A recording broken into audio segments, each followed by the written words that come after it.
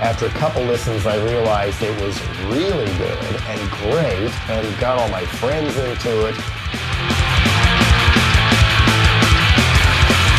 Wow, this is this is what I've been looking for.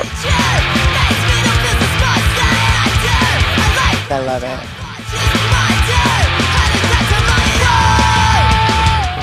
Rocking as hell.